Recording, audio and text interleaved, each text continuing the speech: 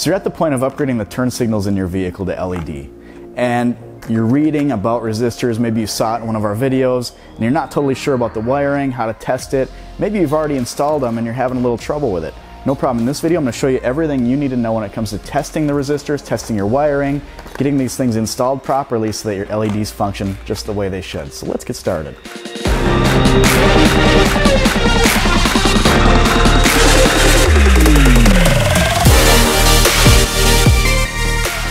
Today I've got a 2018 F-150 in the shop. The vehicle does not matter. This process is the same for all of them. This is just what I happen to have available. It's gonna be the easiest to film. So I'm gonna pop the tail light out. And for this, I'm gonna just pull these bulbs out so I can work with them a little bit easier. We've got our Armor Series LED bulbs in the, in the uh, tail and brake lights. We've got the 1000 lumen in the reverse lights. We've got all kinds of videos on this truck, but the truck's not why we're here today.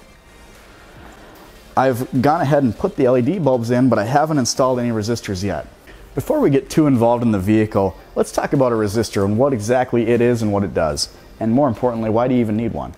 Your truck, van, SUV, or car from the factory came with incandescent turn signal bulbs.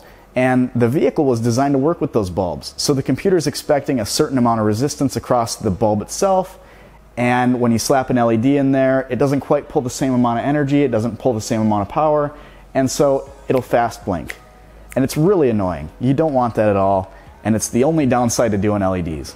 Thankfully, the fix is very simple. You can install a resistor like this, and it all goes away. It goes back to functioning just the way it did from the factory.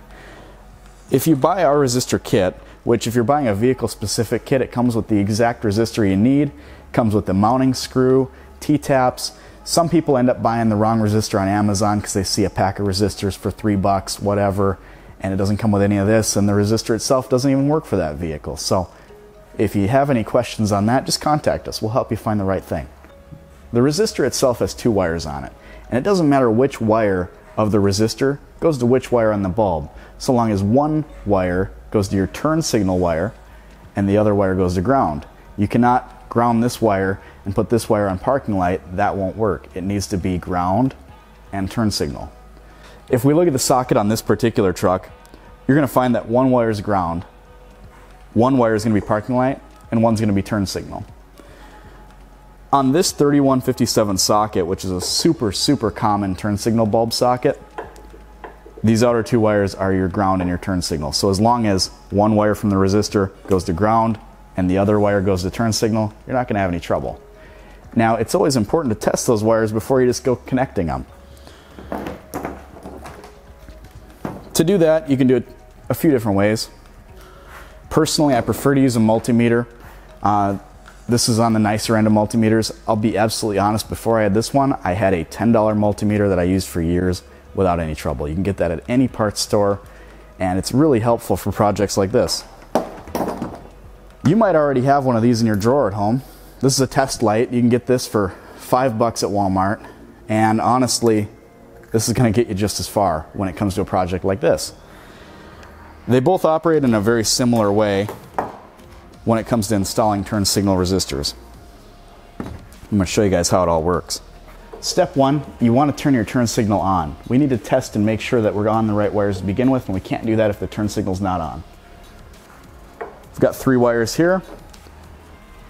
And the way I like to do it is just strip the, the outside one back, the middle one back, and this one back.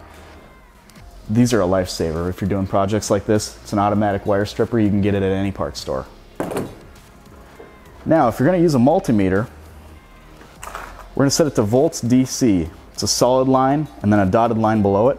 Now, although I have a really really strong guess as to which wires are my turn signal wires, I'm going to pretend that I don't. And here's exactly how I would figure out which one's which. I've stripped a little wire back on each of these so I can easily access it for the video. Take the ground probe of your multimeter, and I've put a little alligator clip on it so I don't have to hold it. So it's a really handy upgrade if you're doing stuff like this, uh, and especially for this video because I've only got so many hands. I'm going to put it on this wire. Now, I don't know for sure that this is the ground. If you're at home and you're, you're testing this out, you don't know that's the ground. Start at one of them. You'll quickly find out whether or not it's your ground wire. Take your positive probe And this is with the hazards blinking, and I also turn the parking lights on. We're going to the middle wire. As you can see, I've got a solid 12 volts here. It's alternating between 11 and 12. That's my parking light wire. It's solid, it's not pulsating, it's not blinking at all. That is parking light, that is not the wire we're looking for. So let's head over to the other wire, the third pin. As you can see, that is blinking. That is definitely our, our turn signal wire. So, the cool part about this is I know what my ground is, I know what my parking light is, and I know what my turn signal is. Now we can install our resistor. Now one of the easiest ways to test your turn signal, honestly, is with a test light. You probably have one of these at home. Clip this to your ground wire and the cool part about these is they act just like the, the bulbs you're trying to find. So in this case, if I go to my parking light wire, it dimly illuminates just like the parking lights should. It's not blinking, it's not a turn signal by any means. This is a parking light wire. Let's go to the other wire.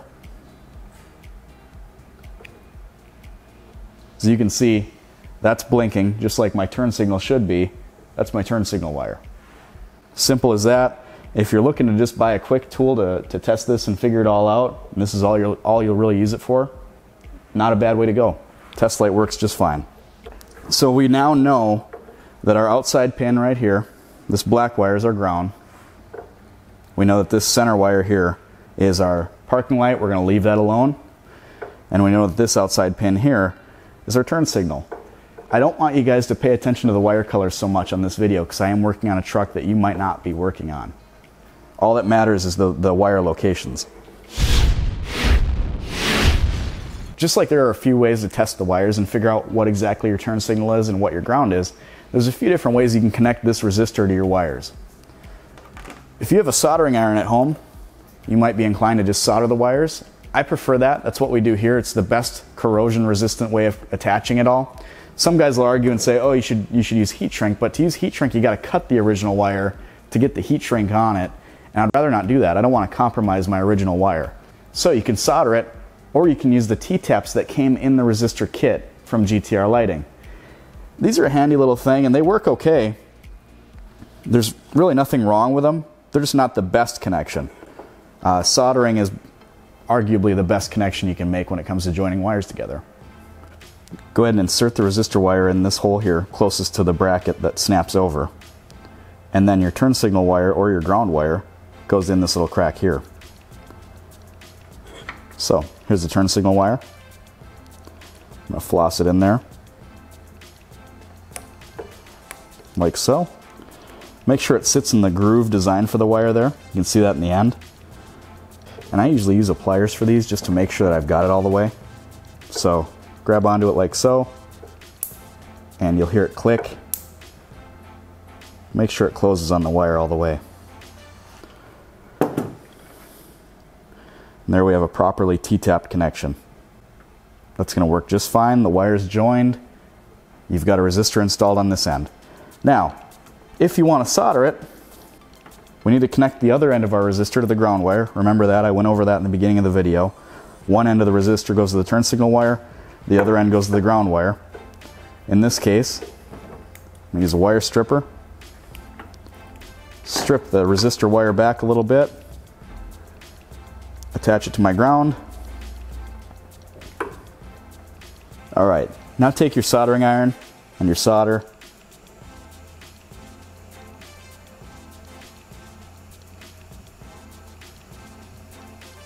Just solder the two wires together. So next, we've got this bare connection here. The last thing to do is put some good electrical tape over it. If you had a bulb in this socket with the resistor wired properly, if you had fast blink before, you won't anymore. It'll slow down, the resistor will start doing its job. I can actually feel it getting warm already, which brings me to my next point. These resistors get hot, and they're not going to burn your truck down, but you need to be careful where you put them. Take your resistor and the supplied sheet metal screw. I usually put it all the way into the resistor first. That way, if I drop the screw, which I have many times, it won't go too far. Take a drill, you can kind of see in here already where I have one resistor mounted, and that's perfect. That's not in the way, it's not touching any wiring. Nothing bad's gonna happen going right next to it. I'm gonna insert this resistor, tighten it down just like so. Now is a great time to go ahead and tape up any wires you might have stripped back that you didn't connect to, like this yellow wire here when I was testing it. Now in the hundreds of resistors that I've installed both on this YouTube channel and in my own personal life, I've never had one of these go bad. They just don't fail. They really don't. So if you get this whole thing installed and you've still got fast blink or you've got something weird going on in the dash, you've got a fast blink on the inside and a slow blink out here, make sure your wiring is all, all properly done. The biggest mistake people often make with resistors is they connect the turn signal wire and the parking light wire or they connect the ground wire and the parking light wire and that just won't work. It won't do it. It needs to be the turn signal and the ground. If you do it just like I showed you here, you're not gonna have any trouble. Beautiful. As you can tell here, they're bright and more importantly, they're not blinking quickly. They're blinking the exact same speed that they should be. You can hear it in the truck. Everything's working properly. Now, if you follow these instructions perfectly, you're not gonna have any trouble. You've learned about polarity, you've learned about how to mount the resistor, how to wire it, how to T-tap it if you wanted to do that instead. Everything's covered here, but if you need any other help, feel free to visit our website. We've got live chat open on our website. We've got phones, email, you name it. You can get a hold of us in any way possible. You can hit our Facebook page if you'd like. Visit our website, www.headlightrevolution.com. And more importantly, subscribe to our YouTube channel because we're doing stuff like this every single day. We're making videos and content for you guys to help you out with your vehicles. Thank you for watching.